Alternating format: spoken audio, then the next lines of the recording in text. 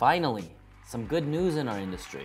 I woke up this morning to a beautiful email that I thought I would share with all of you guys out there. I get an email from one of our drivers, and in this video, we'll refer to him as John. I'll read out the email to you guys. Hello, Ronen. My name is John. I've been currently working in your company for over a month now, since February 1st. I decided to work for your company because of your videos. You seem to be one of a few people online with common sense when it comes to running a successful trucking business.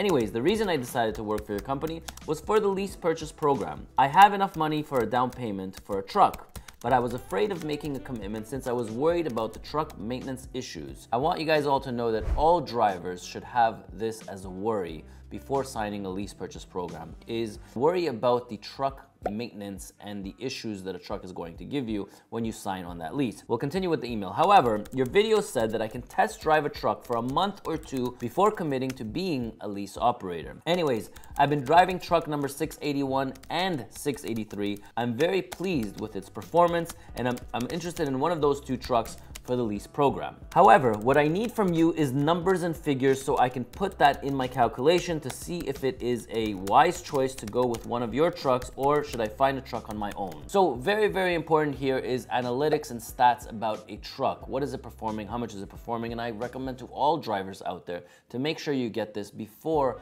purchasing a truck either from the dealership or signing on a lease purchase program. But let's continue with the email. I will be going on vacation for a week in April, so I'm hoping by that time I'll be a lease operator. Well, the truth is, Either way, I will be a lease operator because I already have the money to do so. It's a matter of choosing the truck or not. I'm mainly interested in the cost of the truck and the monthly payments. Basically, what my net profit would be if I drive 120,000 miles a year. I want my net profit after insurance, truck payment, maintenance, and miscellaneous to be around $120,000 a year. I know you're busy. When you have a moment, can you please respond to my email and I would appreciate it. So I really want to do this on camera because I think not only is it good for this driver here for me to respond to, but for all of you guys out there. So of recent, we've opened up a terminal in Atlanta, Georgia, where we are hiring and recruiting drivers, and these drivers, we're allowing them to become lease operators, but we have a few stipulations. Our lease program is completely different than anybody in the US. Why? Because it's actually mandatory for us to have a driver here between 30 to 60 days before we can flip them into becoming a lease operator. Now, why is that? Now, it's very important, you know, it's it's like as if I was to go on a date or a couple of dates with a woman and literally after a week she would ask me to marry her. Now, I don't want to marry her. I'd like to date her first. And if things go well on the first date and the second date, I will continue to a third date and then we can establish a relationship and only then will I allow her to move to my place or we can move together. And then after testing out the waters for a year or two, I guess in my case, but in your case, I don't know, but will I actually propose and get married to her? Now, when people are making you sign on that dotted line, they're basically telling you, let's get married after our first date or let's get married after you've just heard about me some really good stuff from your friends and then you're okay to get married to me. But that is a recipe for disaster, okay? I don't recommend for any company driver out there to sign on that dotted line or becoming a lease operator with any company before testing out the truck. I hold seminars or sessions uh, once every month about the lease purchase program and I get, you know, 15, 20 guys in a room and we, we, we talk about a lease purchase program and then comes out a deposit and I tell them that, you know, our lease program is different. We require deposit. They're like, oh, you require deposit? And then all of a sudden, you know, I would say probably five out of the 25 people are like, oh, you know, this is not for me. You guys need to understand something. Forget about ET Transport or myself. There is nothing in life that's good that's free, okay? And when all these companies out there are giving you a free lease purchase program and a walk away lease purchase program, they're basically just stiffing you right at the beginning, all right? You can walk away whenever you want. It's free to sign up. What in the world do you think they're giving you for free? The ability to make hundreds of thousands of dollars or trapping you in a lease where all the headlines lately is predatory lease agreements. And why are they so predatory? Well, number one, because it's this thing about owner operators in the US. I mean, I have a Canadian mentality. You know, we brought our system into the US. Now, I know you guys are all gonna bombard me and say, oh, go back to Canada, back to Canada. But, you know, what you do guys in the comments, you guys roast me there, but that's fine. I mean, I, I can take it. But the system in the US is more of a rental. Everything is rented to you and you basically own jack shit. At the end of four years, at the end of six years, at the end of eight years. I mean, I talk to truck drivers and I have over 9,000 truck drivers in my database that I talk to. I wouldn't say all of them on a regular basis, but I talk to a lot of drivers. And in the US, the mentality is very different. It's, you know, let's give this driver a rental unit, let him work for three, four, five years, and then let's give him another rental unit just so we can upgrade his truck. But the driver himself never really gets to own anything. And they all sell it as, you know, a walkaway lease program. They all sell it with no deposit. And you need to understand that, like I said before, nothing that's good in life is free. Now, when we ask for a deposit, there's a reason why we ask for deposit. Number one is because we allow you to drive the truck for 30 to 60 days, make sure that you like it, make sure that the maintenance records are good on it, make sure that the fuel consumption, which is one of the most important things, is good on it. And only then do we ask you for a deposit because you're actually entering into an agreement that you're buying this truck. You're not renting it. You're not gonna, uh, you know, drive it for four or five years. This truck will actually become yours after 41 months. So back to the email and my response to the driver. So this driver actually drove both units, unit 681 and 683, both of which are 2021 models. They both have about 400,000 miles on it, and they're both in very, very good condition, well-maintained fleet units. So unit number one over here, over the course of the last, you know, January 1st to February 29th, that truck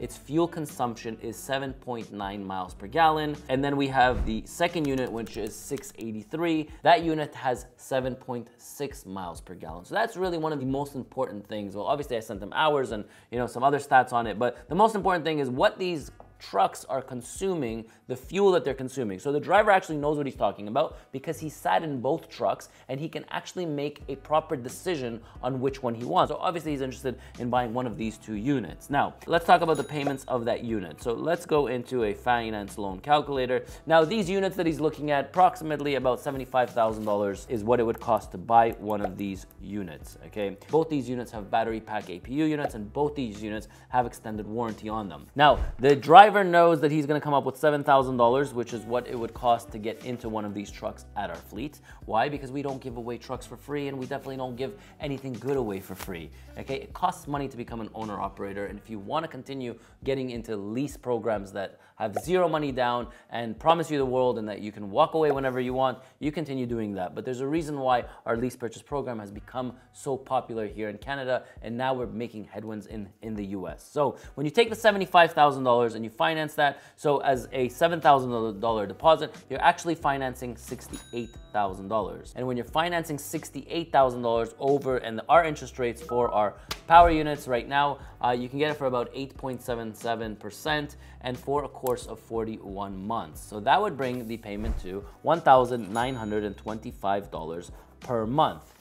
Okay, so that's going to be the monthly pay payment and let's go into the pay statement, okay, that I sent him. So here's a pay statement that I sent him. So today's realistic rates, okay, 11,000 miles at 2.05 per mile is $22,550 gross earnings. Now, is this low? Absolutely. The national freight rates are low, okay? And they're at 2.05 per mile right now for the month of February. if anybody's promising you anything more than that, then I would be very hesitant and I would double check the figures. If it's too good to be true, it most likely is.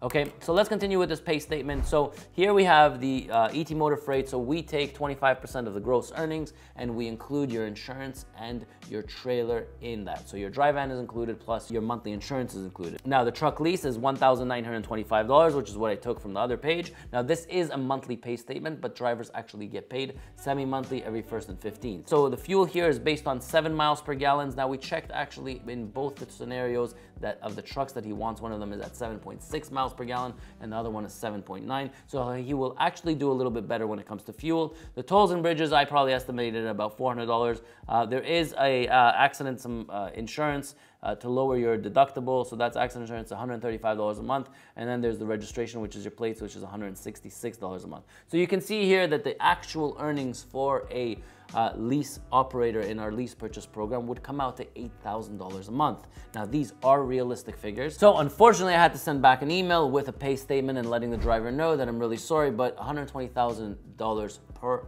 annually net income after everything is just not realistic. And the reason why it's not realistic is because freight rates are down and they are um, and they are very, very low right now. So 2.05 will not get you to $120,000 annually as a clearance. You're probably more looking realistic figures is about 96 thousand dollars is more of a realistic figure. If the rates bump up a little bit to 210, 220, you'll probably end up making about the 110. And if they bump up to about 225 per mile, which is where they need to be, 225, 235, then you will for sure make that $120,000. But you know, one of the things that I've learned over the years is you got to be really honest with people. The last thing you want is shitty and horrible Google reviews. The last thing that you want is people hating you. The last thing that you want is people not trusting in you. So if you can't make it work, just let the driver know that you can't make it work. And I can assure you that when you're open and honest with people, it actually attracts a lot more people towards you than, than, than, than trying to paint a picture that's not actually there. Well, hopefully you learned something from this video, and I do want to thank John, our driver, that's been working in our Georgia division for about a month and a couple of weeks. And I do appreciate the positive feedback on the channel and the positive feedback on our company. And if you guys have any questions about this, about the pay, yes, you know, you guys will roast me only $8,000 yet, but these are actual realistic numbers. And I don't care, you know, what people say out there. I'd rather give the truth and I'd rather say, you know, the real facts out there than to blow smoke up your ass. Hopefully you learned something from this video. And if you have any comments or questions about this video, feel free to leave them in the comments down below. I'm Ronen, R-O-N-E-N, and I'll catch you in my next video.